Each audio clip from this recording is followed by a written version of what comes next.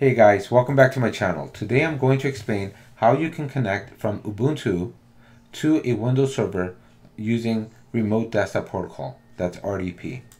So the first thing you want to do is on the bottom left of your screen, you're going to click on Show Applications. Then you're going to type in Remmina, that's R-E-M-M-I-N-A.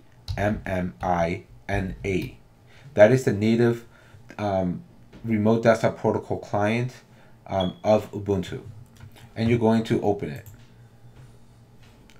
Once you've opened Remmina, you're going to type in the IP address of the server that you want to remote desktop into.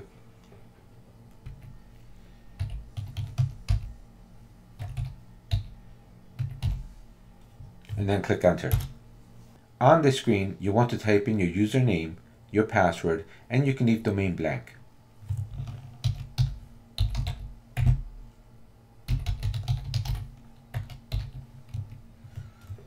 You can then choose to save your password by clicking here or not to save your password. In my case, I'm not going to save my password and I'm going to click OK to connect.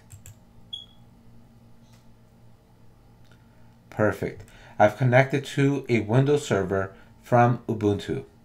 I hope you guys enjoyed this video. If you have any questions, please leave them in the comment section. Please also like my video and subscribe to my channel.